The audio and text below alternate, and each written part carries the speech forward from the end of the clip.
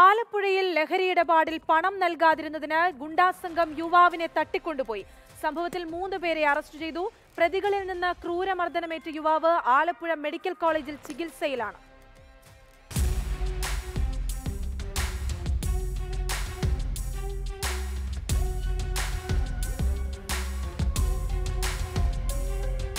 ആലപ്പുഴയിൽ നിന്ന് വാഹനത്തിൽ തട്ടിക്കൊണ്ടുപോയ യുവാവിനെ മാന്നാറിൽ നിന്നാണ് പോലീസ് സംഘം കണ്ടെത്തിയത്.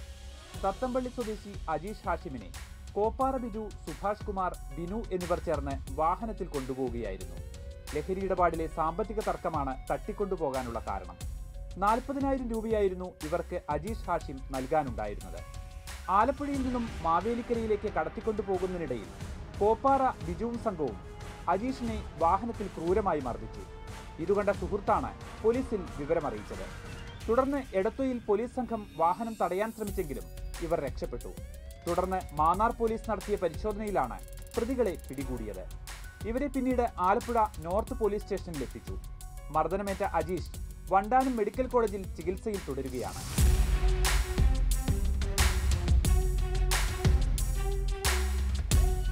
മാതൃഭൂമി ന്യൂസ് ആലപ്പുഴ.